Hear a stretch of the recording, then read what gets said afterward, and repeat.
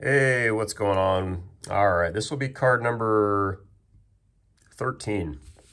13. Uh, this is the 2024 Topps Star Wars Throwback Thursday.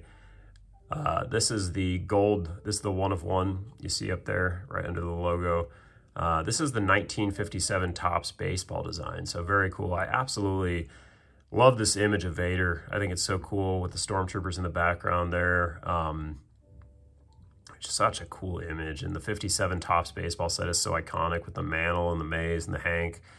All those cards are just, just you know, people know those, and it's just such a great design. So uh, I, I, love the throwback, the throwback Thursday uh, concept in those sets. I think it was very creative and um, very, you know, just a very original idea from Topps.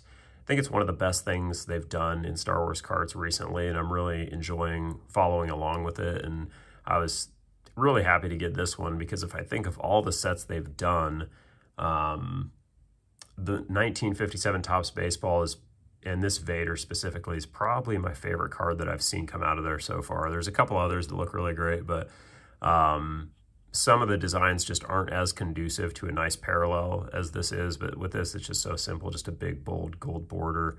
So, so good stuff here. They do gold one, uh, silver five and, and bronze 10 with each release. And each, each release is, you know, uh, available for one week. So they show it on Thursday, take as many online orders as come in, and then that's the print run. So, you know, the total print run for the base version of this is probably like maybe a thousand cards or something like that.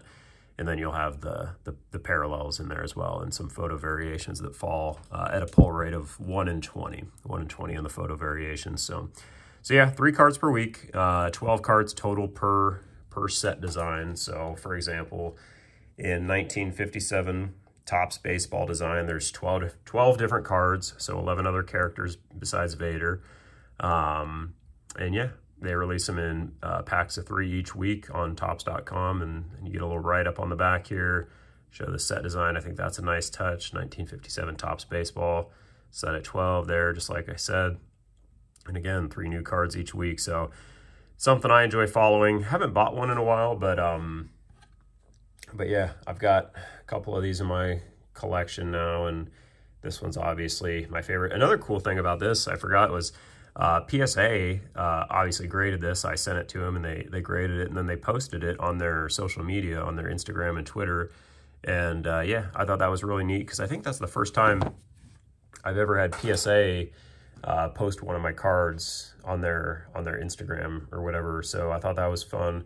Uh, I had SGC one time uh, post my uh, Mookie Betts Superfractor, but um, but yeah, I've never had a PSA uh, post like that, so that was kind of a, a, new hobby experience for me. But but yeah, it's a, it's a great card. It would be higher. I mean, it's a one one Darth Vader, but uh, the only thing that keeps it a little bit down is just the fact that it's not like a quote unquote pack pulled card from like a proper hobby box or set or anything like that. It's, you know, it's an online exclusive, still randomized, still comes in packs, quote unquote, but it's just a little bit different. So just one of those small variables that can kind of change the prominence of the card.